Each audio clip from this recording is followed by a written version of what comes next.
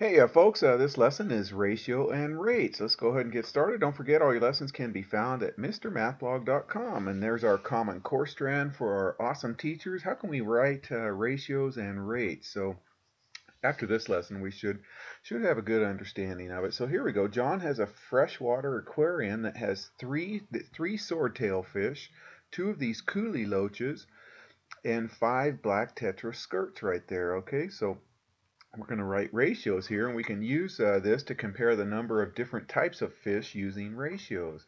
There's three ways to write ratios um, and so let's write uh, the ratio of the black uh, skirt tetras to the swordtails. Okay, so the black skirt tetras there's five and the swordtails there's three. So using words we're going to say five to three. Okay, so that's how we say a ratio using words with the letter um, I'm sorry, with the word 2 in between it, 5 to 3. Okay, and it's important that we, um, uh, with this, it says um, three ways to write the ratio of tetras to swordtails. So there's five tetras for every three swordtails. So tetras to swordtails. Okay, as a fraction, 5 over 3. This says 5 to 3 right there. And then with a colon, that's what we did in the last lesson. So 5 colon 3, this says 5 to 3. They all say 5 to 3. This says it in words. 5 to 3 is a fraction, 5 to 3 as a colon right there. Okay, so we can, uh, uh, ratios can be written uh, to compare parts to parts. We compared um, parts to parts here, or we can do a, a part to a whole. There's uh, 10 fish in the aquarium, so we can use 10 as the whole, or we can do uh, the whole to a part, so the, the whole aquarium to any one of the parts right there. And we're going to do that here. So write each ratio using words as a fraction uh, and with a colon. Okay, so we're going to do it with words as a fraction with a colon. So the black skirt tetras, I think there was five to the coolie loaches. So there was two, so five tetras for each coolie loach. So we're going to write five to two right here, and then as a fraction. I'm sorry, this is going to be part to a part because we're just doing the, the tetras to the coolie loaches. This one says um, the swordtails to the whole fish in the aquarium, so this one's going to be a part to a whole right there.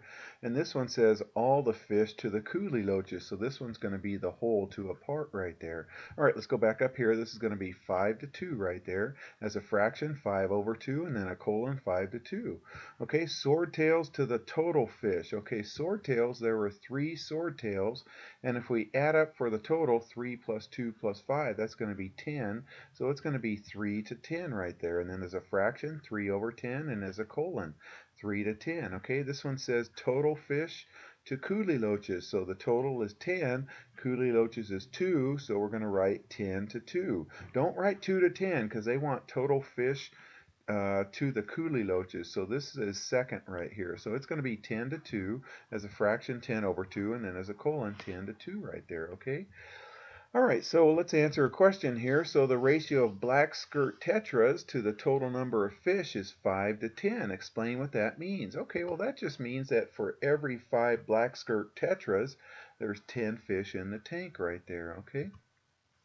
All right, so a market sells sandwiches at a rate of $4 for one sandwich. So what rate gives the cost for five sandwiches? And we're going to uh, write the rate for five sandwiches using words and as a fraction and with a colon. Okay, so uh, a rate, you guys, is a, a, um, a, ratio that compares two quantities that have different units of measure. So, so $4 for one sandwich would be 4 to 1. Okay, a unit rate, you guys is a rate that compares uh, for one unit. Okay, so the unit rate for the cost per sandwich is $4 for one sandwich. Okay, unit means one, so we're going to have one sandwich involved right here. So if they ever ask for unit rate, we got to compare it to the terms of one right there. So $4 for one sandwich right there, or $4 to one sandwich. And I didn't put it as a colon, but it would be $4 colon 1 right there, okay, for one sandwich, okay?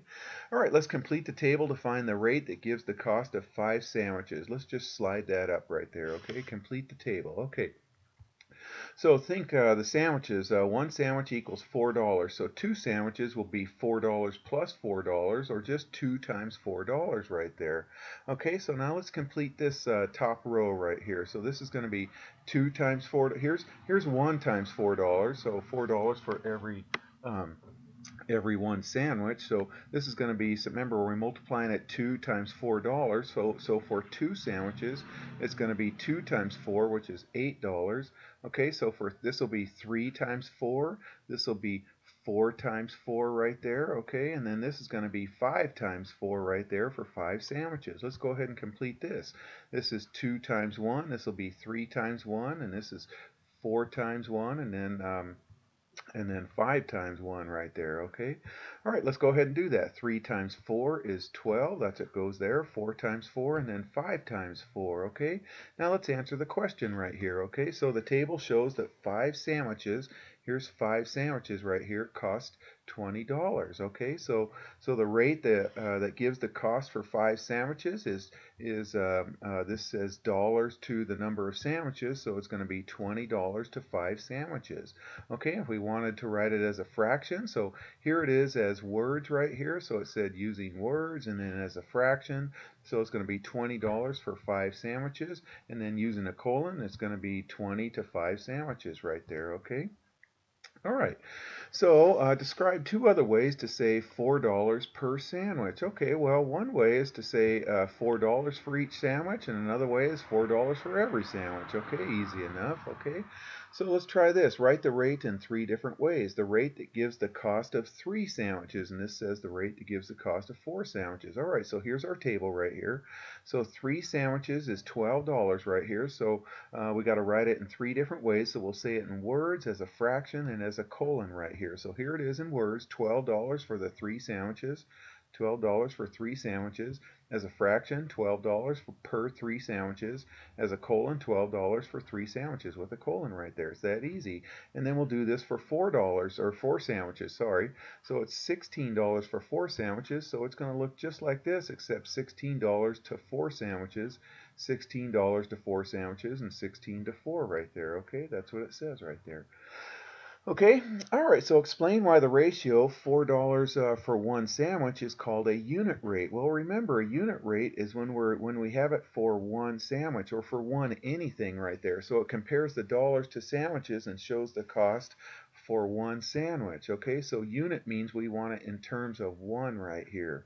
Okay, so explain the pattern we see in our table. Okay, so here's our table right here. So each time the number of sandwiches increase by one, so here's the number of sandwiches, plus 1, plus 1, plus 1, plus 1. The cost increases by 4, plus 4, plus 4, plus 4, plus 4. Or we can take the number of sandwiches and multiply it by 4, and that'll give us the cost for the number of sandwiches right there. All right, you guys, I hope that lesson makes sense, and, and take care.